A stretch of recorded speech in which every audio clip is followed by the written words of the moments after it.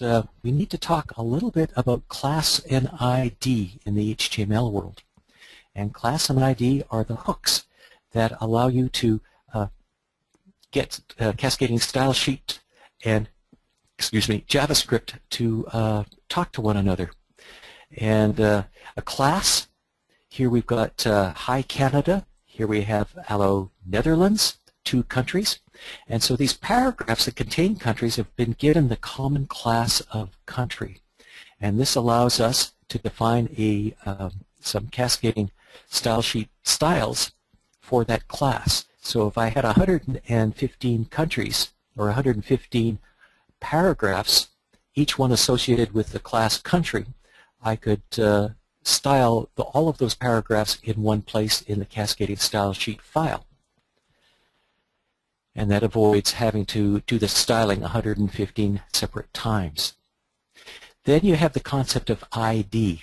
This is kind of like a primary key for you database developers. And so if you want to get very, very surgical here and be able to manipulate one individual paragraph on your uh, page or one individual element, you give it an ID.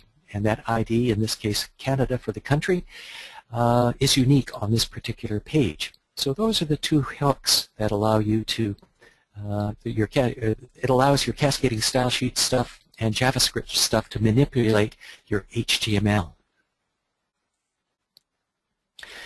And we're going to do a little demo here. Uh, I've just added a little bit of styling, uh, very simple cascading style sheet to our Hello World. Uh, here we've got uh, the default paragraph. We are setting the uh, paragraph text color to blue by default. This syntax here, this dot country, is referring to the class country. That's dot country refers to the class. We're just going to set our country backgrounds to light green. And then we have some syntax here that are specific to Canada and the Netherlands. And that's the, the hash symbol with your um, ID for Canada refers to that one paragraph. And we're setting the color for that to red to match the Canadian uh, maple leaf flag and setting the font size to 200%. So let's have a quick look at that.